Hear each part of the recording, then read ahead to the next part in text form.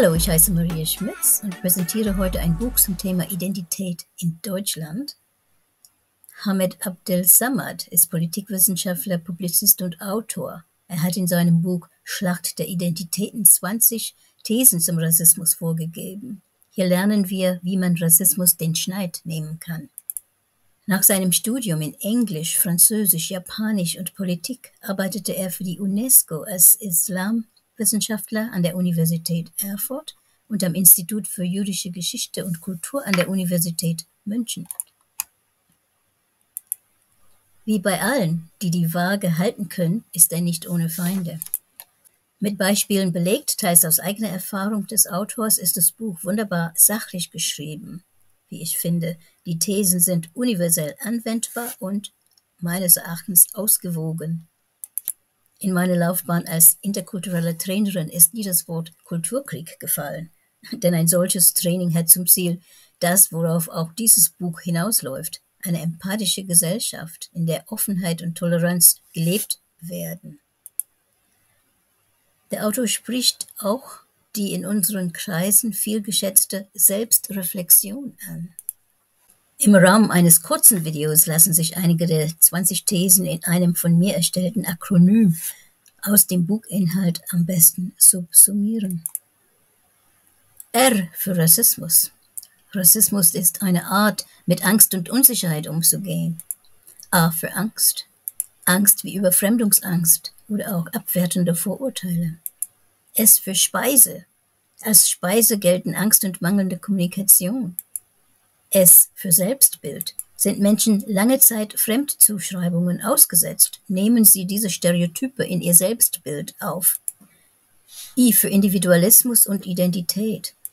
Ein toleranter Individualismus und eine klare eigene Identität helfen, Rassismus zu überwinden.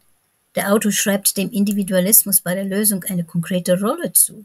Er sieht ihn als Ausweg, denn auch eine Überidentifikation kann Ausdruck von Angst sein.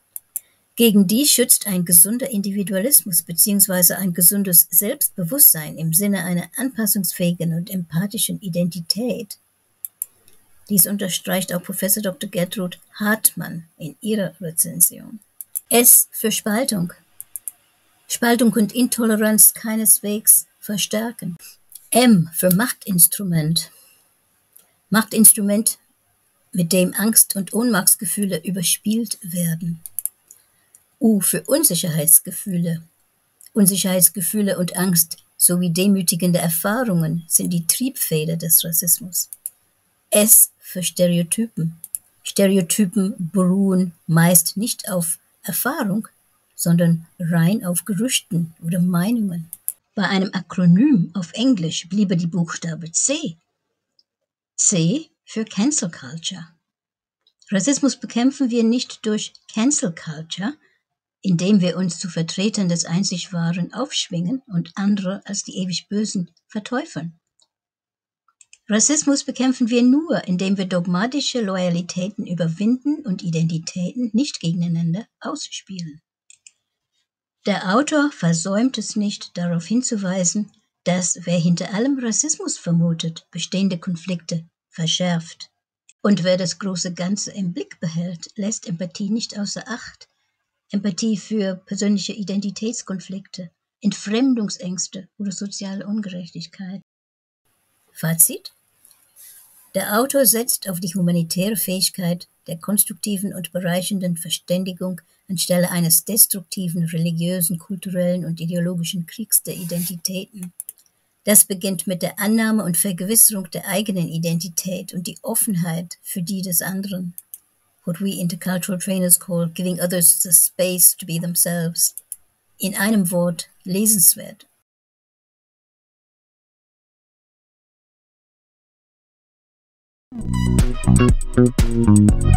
Thank